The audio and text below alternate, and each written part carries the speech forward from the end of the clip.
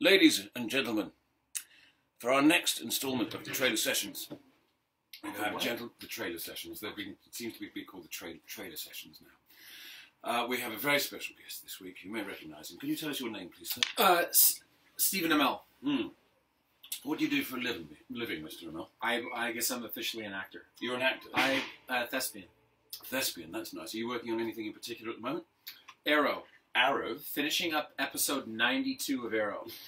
To be very you can't short, say it like that. That just sounds enormous and to be very shortly followed by episode 93. Do you know when we're starting next year? Yes. Early. early, just when you thought you were getting a break. The thing is, though, one has to keep it in perspective, doesn't it? Because we're starting a little early this week, as Stephen just mentioned. Uh, this this season, uh, the first week of July as opposed to the second, Yes. and it makes you think, oh, wouldn't it be nice? But at the same time, we are returning for a fifth season on a television show, so there's some perspective, right? That's correct. And you were actually the first one to teach me perspective when it came to that sort of thing. I don't know if you remember this. um, which? Well, when we were on the pilot, we all had drivers. right. And then when we came into production, it was going to be self drive. And I sent a note to the cast, like, well, I think that we should do. And your note, and everyone agreed. And then your note back was, um, actually, uh, I've been down this road before, and uh, we're lucky to have a series on the air, and we should all maybe just keep our mouths shut for a little bit and uh, See how it actually plays out. yeah, yeah. It's easy to lose perspective in life sometimes, but uh, we are a fortunate bunch. we are indeed. Five seasons is uh, uh, it's rarefied air. How are you feeling about how this one? I can almost use the past tense now. Went. You should not ask me about a season and how I'm feeling during the last three episodes. We'll ask a different question. Are you looking forward to the fifth season? I am looking forward to the fifth season, and no, no, no, I'm, I am, I'm, I'm quite happy. I'm quite happy with this year. This was a challenging, this was a challenging year. I mean, it's it. Uh, I don't think anyone cares about this, but we have never been so behind as we got this year, coming out of the crossovers. Yeah. We had some illness, which we've never been affected by before. We had an insurance day for the first time. I think that logistically, it's been an inc- it's probably been the most challenging year for me since season one. It was. We were incorporating three television shows in this situation, right? Yeah. Yes. I mean, see Arrow, Flash, and uh, Legends of Tomorrow. Yeah, I- being the crossover. I did throughout this calendar year. I did twenty six episodes of TV. That'll keep you on your toes, won't it? okay. Um, and what about the hiatus, mate? What are you doing for that? I am touring the world for Teenage Mutant Ninja Turtles Out of the Shadows. this man does not lead a dull life. No, I, I so I'm I'm dark for about the better part of two weeks, uh, and then we are doing up to, but not just limited to, I believe Miami, Los Angeles, Philadelphia, New York, uh, the UK, where I will see you briefly. I think Yeah, when are you going to be there? in Birmingham. You're I won't be. aren't I know I'm not doing. Birmingham. Oh, you're not doing I'm going to Birmingham. do another we're- one now. yeah. we're gonna we're gonna tack on uh, a, hopefully a day of press in in London, and then I believe we're going to China, to Australia, um, hopefully Toronto. Any South America? No, Huh. we were Miami uh, in lieu of Brazil because there are uh, health concerns at the moment. Not my call. Everybody. Ooh. Everyone's always asking when I'm going to come to Brazil, and I'd really love to, but uh, I don't make these decisions. Yeah, I've never been there myself. Actually, I'd love to go there. Mhm. Amazing place. But then I should. We thought actually that the press tour would, would go until like July 20th or so, and it sounds like it's going to finish at, at a smidgen earlier than that. So, thinking that we might go to somewhere warm and isolated for three weeks. Let's go for long runs and lava strewn roads, and then just come back.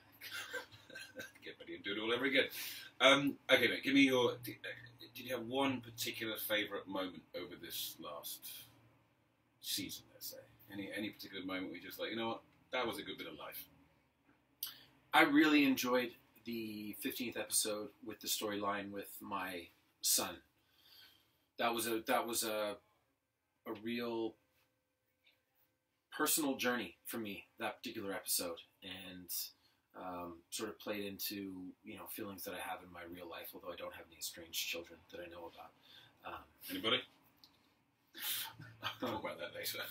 Uh, I really enjoyed that episode, and but I'd say a, a particular moment. I thought that the whole Legends experience and going and playing my character thirty years from now was a was a pretty fun bit of business. Oh yeah, you uh, posted that thing. With all due respect to Paul Blackthorne, this was the greatest behind-the-scenes photo ever, right? You and your white hair Noah-looking sort of situation. That's right. It was a good photo. Yes, it was. Yeah, I'll give you that one. No, wait a minute. That was different. That was from the that was from the pilot when we see Oliver for the first time and he's long hair and beard and I had the beard still on, but in order to eat lunch, we took off the mustache. oh, okay. that was during the end of the. That was right at the end of the pilot. I was actually startled by how weird I looked and how young I looked. How peculiar. you did comment on a grey hair the other day, didn't you? Oh, they're coming in hot and heavy. yeah, I think that I think actually a bit of breaking news. I think we could be looking at a at an Oliver Queen with a with a slightly different uh, hair getup next year. I want to uh, eradicate the whiteys. Possibly shorter and possibly longer. Are you, are you talking this kind of thing? I think a little bit shorter. Yeah. You give The gray, the, run the, for his the money? gray, the gray uh, my gray hair is coming in, and we were doing a. I did a fun impersonation of Marc Guggenheim on Saturday. You or no, did? it was it was Friday. It's Friday. It was yeah, Saturday four, morning. Four, four in the morning, yeah. My impersonation of Marc Guggenheim calling me up to tell me that I have to start coloring my hair because he got a note from the network. Eh, so you know, uh, uh, It was longer, it was longer. uh, yeah. So I think we'll just we'll, we'll deal with that one because it's coming in a little bit here, but it's all over there. Yeah. Well, such is life. Um, as you all know, this guy does just an amazing job at this thing. I remember in the first episode we shot, no, not the pilot, so when we first got up and running.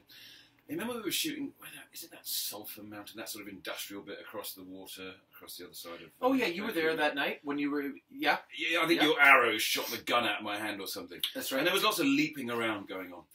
And it was the second episode. And I, I remember sitting there, and I, you know, I didn't know you then. And um, I remember thinking, this is a lot for any person to be able to take on. And how does how is he going to deal with it mentally? How's he going to deal with it physically?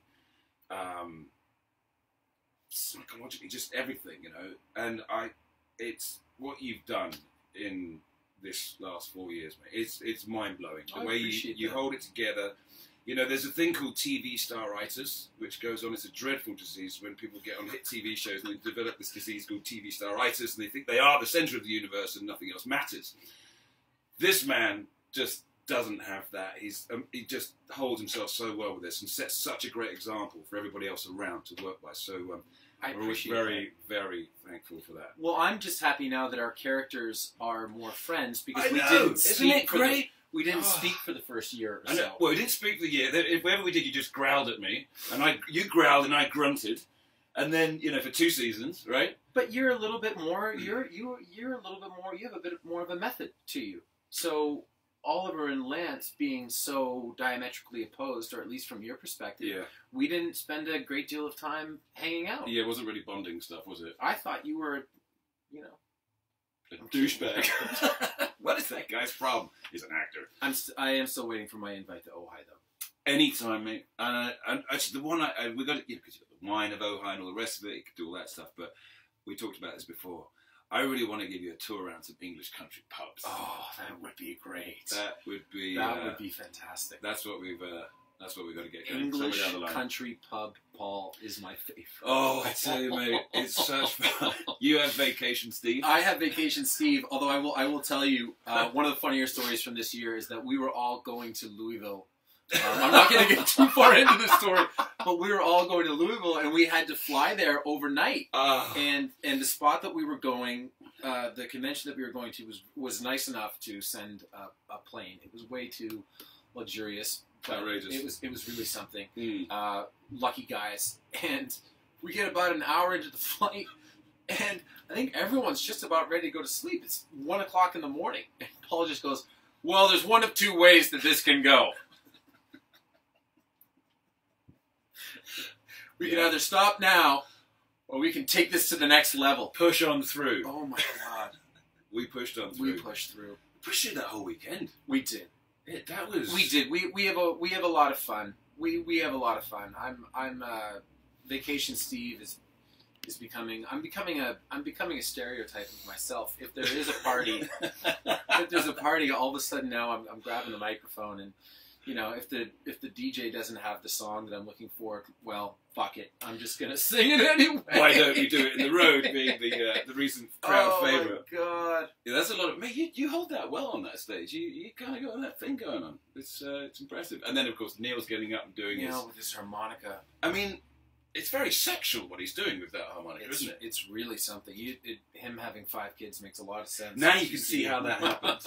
Yeah, I, I presume he takes the harmonica to bed with him. I think that's Oh, part of him and his wife's. Uh, I'd, I'd, you know. I'd say that if you were sitting right beside me. Anyway, look, we're sitting here in these t-shirts. See that? Stephen's being fantastic. He's going to help support this campaign along with all the other guys. Paul tried to put me in a medium. You should have seen that. That was Did not comical. Did not work. um, but um, I'm off to Vietnam to do some of this stuff in a few weeks' time, and um, That's exciting. yeah, uh, Very proud. Very proud of you. That's very kind of you to say, mate. You're the one that sets the precedent with all this amazing stuff that you do. So It's you know. it's fun though. It's it's fun doing good stuff. It is, you know, and we're so lucky to be in this position to be able to do fun stuff and have a little bit of an effect and shine a bit of a light here and there. And, um, you know, we'll help each other when we're doing it with the various causes. You've been brilliant with all that. And, um, and uh, you know, in this particular cause, you know, it's these rhinos, man. 90% of poached rhinos in Africa end up in Vietnam, which is kind of insane. Yeah. You know, we love you, Vietnam, but can we try and take a look at this issue because that rhino horn is the same thing as that fingernail. Oh, you just got my little What did you do? my gashed knuckle. Were you punching people? I wasn't. No, I was. It was. I was cleaning my house the other day, and I caught it underneath the, Oh, uh, that's the the worst. I had one. Of, Sliced it. I had one of those the other day. Uh, Gord, our director of photography, opened a door too fast. Yeah, same spot. Yeah, Works for days. Um. Anyway, yeah. So this stuff is the same as your fingernail, and so clearly not a great idea. It's not going to do anything for anybody's health whatsoever. So anyway, I'm going to run around Vietnam for a couple of weeks and make a big song and dance about that. Um, we're all going to have a bit of a vacation as well over this uh, hiatus. You're going to go and do some teenage ninja mutant. Tur- I can never get the name right. Neither- neither- Turtle ninjas. Neither can I. I'm gonna have to really work Two. on that. TMNT. Just say that. Yeah, man. TMNT two. Out of the sha- out of the shadows. Out of the shadows. Mm-hmm. Sounds ominous. Um, thank you, Mr. Amell, You are for welcome. this. You are a fine man. Have a wonderful hiatus. I may not see you. No, you won't. See you in July. Crawling back. Okay, guys. Thank you very much. You're all fabulous. Oh. See you later.